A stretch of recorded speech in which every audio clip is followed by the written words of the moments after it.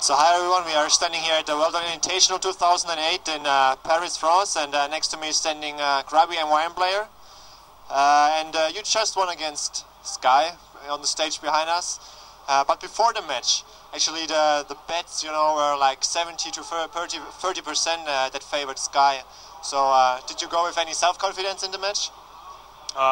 those bets are fair, too high for me, if anything, because I almost always lose to Sky. Uh, usually I go, I go into the match thinking I will lose, but um, I did a lot of practice against Human, uh, so I thought I had a chance. Uh, I didn't want to be too confident because sometimes I think I have a chance and I still lose. But uh, yeah, I, I, I, believed I could do it, and uh, yeah, I didn't. Yeah, I was I was really happy that uh, that it became true. Okay, but overall, the, both matches were really great performance by you. I just talked to some other people, and they're we were a little bit impressed about your performance, how you showed up here. So you really practiced a lot before uh, for the tournament here. Uh, I don't think there was a, a, minute whereby I didn't think about practicing and preparing and uh, uh just take short breaks for for food, and for the rest it was just 24/7 uh, playing. Uh, especially since WC3L, I've just been playing, playing, playing.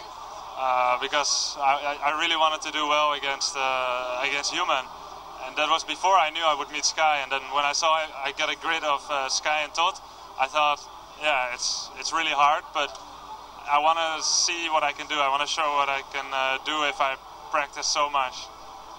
So, uh, what about the atmosphere with the other players, uh, other MYM players and stuff like that? Uh, I saw you were talking to some StarCraft players of MYM, and uh, you were sitting together with Moon and stuff like that. So I had a feeling the atmosphere is pretty good in the team right now. Uh, does it also affect your game in some way? Well, uh, I, I, think it does. Uh, it's not that I'm, I'm playing necessarily for, for them, but uh, the whole feeling that you get along well with your team and there's a good vibe, uh, yeah, it, it, makes me feel uh, happy, and a happy player is a good player. we went to dinner yesterday with the Moon, and it's really nice to talk to him and uh, yeah, hang out with him. And well, Draven F F91, I didn't talk much to them, but I'm sure they're, they're great guys too. Oh yeah. So, uh, what, what do you think about your overall chances in the tournament? I mean, now you played one of the favorites, Sky. I mean, in the next round you probably face uh, XlorD or Todd. Todd, Todd already won 2-1, uh, I think. Okay, so Todd. Uh, what about him? What do you think about him? Uh, can you can you also show up such a great performance like you did against Sky? Well, Todd plays very different. Uh, he is uh, slightly more versatile, and uh, he, he, also, he, also, just plays different from Sky. Uh, I heard he uh, stopped Dota recently for a while, so he's really not to be underestimated. And it won't necessarily be the same games against as against Sky. yeah, but I prepared against all kinds of strategies, so I hope that my mind will be clear enough to uh, put my practice into play. Okay, so let's uh, say you've got good chances to place top three in the tournament. Which which other two players do you see on the on the on the on the final stage next to you? Uh, I didn't say that. I think. Uh, yeah, I said it. Moon beat Lyn 2-0. I heard. Uh, yeah, I expected him to win, but not 2-0. It shows he's uh, in really good shape also. Then yeah, Lyn, Todd Sky all got really good chances, I think. Okay, uh, and let's uh, go a little bit away from Warcraft 3 for one second. I saw you were watching the Diablo 2 presentation. So what are your... Oh, I always say Diablo 2, sorry. Diablo 3 presentation, of course, the Diablo 3 presentation. What are your first impressions about that? Well, I think it looks awesome. Uh, I'm, a, I'm a real Blizzard Games fan. Uh, haven't... Yeah, I, I, played Diablo 1. I completed the single player 10 times, I think.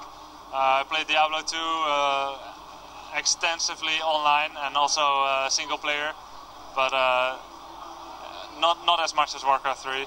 But yeah, I would love to try out Diablo 3, the, the campaign, for some uh, leisurely hours. But uh, if it's too fun, then I won't play it too much because it's too dangerous, uh, too addictive uh, for me because I have something else to do, which is to play Warcraft. But I'll definitely try it. It looks really, really cool. Okay, and the other Blizzard game, StarCraft 2, did you have a chance to try it yet? Do you want to try it? StarCraft 2, yeah, we uh, we were playing it uh, a bit, uh, pro gamers and uh, designers. Um, so your impressions? Impressions, it's uh, it's a really good looking game, and they keep changing all sorts of elements. I really think they're uh, considering how to make it the most attractive for StarCraft One and Warcraft 3 players together, and also new players. Um, lots of new functions, as always. It's not just a, a little overhaul to make it a, a, a new code, uh, but really, uh, it's uh, fundamentally, I think, so much better than StarCraft 1. Okay, you said it will be interesting for StarCraft 1 players and interesting for Warcraft 3 players. So, will StarCraft 2 merge both communities and uh, be sooner or later the only esports title in, RT, in the RTS genre? Mm, I'm not sure.